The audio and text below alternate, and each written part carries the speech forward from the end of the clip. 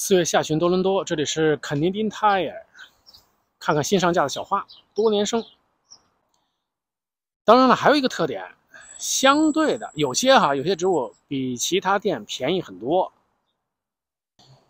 每个店各有特色，各有自己生存之道，所以要多逛。好，来看小花，母鸡、小鸡，记住这个价钱哈，六九九。待会儿有更贵的，我看中那贵的了。就是看看有哪些花，大概什么价钱，六九九。哎呀，十足，重瓣，大部分小花还没开始表现啊，能开花就算不错，和照片上一模一样。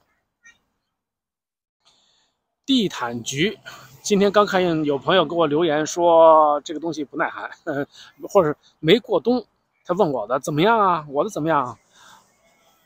我是很多很多年以前种过，印象当中还可以啊，能过冬。我是种在花盆里头，当然过冬稍微保护了一下。很多小花，其实如果你要是邻居啊、朋友有的话，你张口一要，他肯定愿意给。但有时候啊，有时候羞涩，羞于启齿，其实买也不贵，对吧？你看，我看中这个了。这一架子小花呢，就是三块四毛九。虽然涨幅明显，从两块九毛九涨到三块四毛九，涨了五毛钱，能接受吗？你喜欢的话没问题。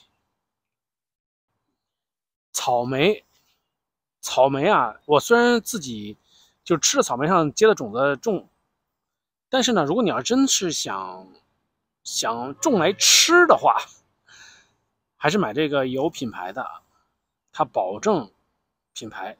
我不知道差别有多大哈，就是这种品牌出来的结的果和你自己自己种时候结的果差别有多大。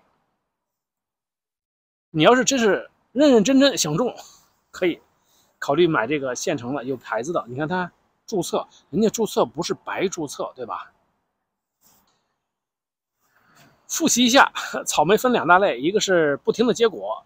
但是每一次结的果比较小，呃，陆陆续续每次结果也比较少，有的呢是大批结果，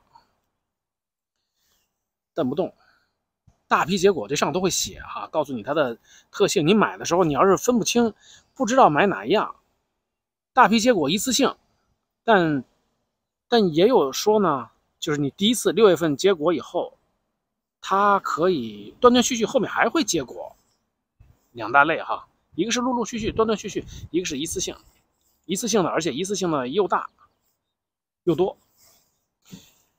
还有一个呢，它这个杂交，它有杂交的目的，上面都写了，说可以种在花盆里，这个很紧凑，不是长了一大片，相对紧凑。浆果一类的都是十四块九毛九一加仑。还有枸杞子 （Goji Berry），看这果子结的好大呀，跟西红柿似的。好了，多年生小花和浆果就说这么多，你有什么想法，欢迎在下面留言。谢谢收看，咱们下次见。